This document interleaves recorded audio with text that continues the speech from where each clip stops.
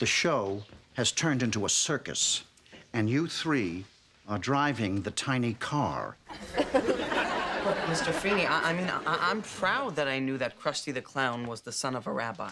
I answered a real question, Mr. Feeny, about the Tigris and the Euphrates. Miss Lawrence, I would never deny you your moment in the sun. But knowledge fever no longer has much to do with the kind of knowledge I would want you to absorb. Mr. Feeny, look, well, the show's proving that we're absorbing the right type of knowledge, right? I mean, that's why we're the champions. Hold hold on, hold. Wait wait a minute. Champions of what, Mr. Matthews? Of a generation whose verbal and mathematical skills have sunk so low when you have the highest level of technology at your fingertips? Gutenberg's generation thirsted for a new book every six months.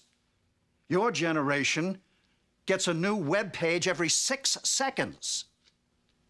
And how do you use this technology?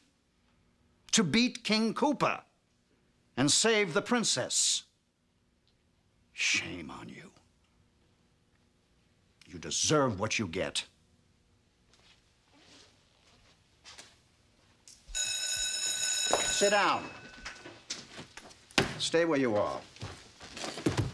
For the first time, I choose to walk out on you.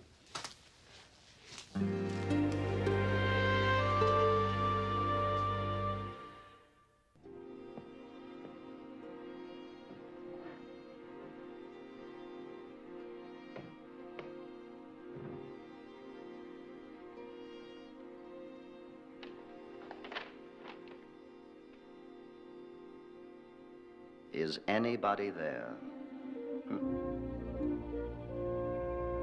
Does anybody care? Does anybody see what I see?